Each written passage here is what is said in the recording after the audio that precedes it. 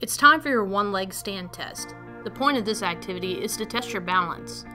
For this test, you'll need a safe, flat place to complete the exercise, a timer to measure how long it takes to complete the activity, and a helper to start and stop the timer and watch your form.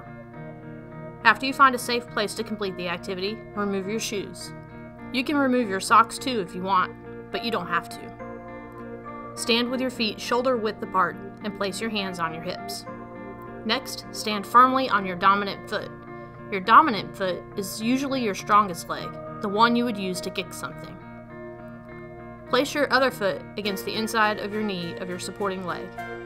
Raise your heel to balance on the ball of your foot. When you reach this position, your helper will start the timer and time how long you can maintain this position.